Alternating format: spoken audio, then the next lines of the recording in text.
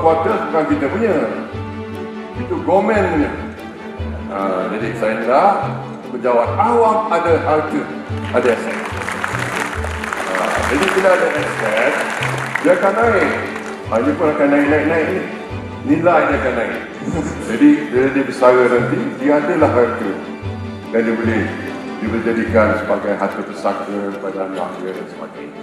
Jadi harapan saya, saya keadaan bukan ada pension, tapi ada sikit sebanyak harta, ada aset bila dia beli. Itu harapan.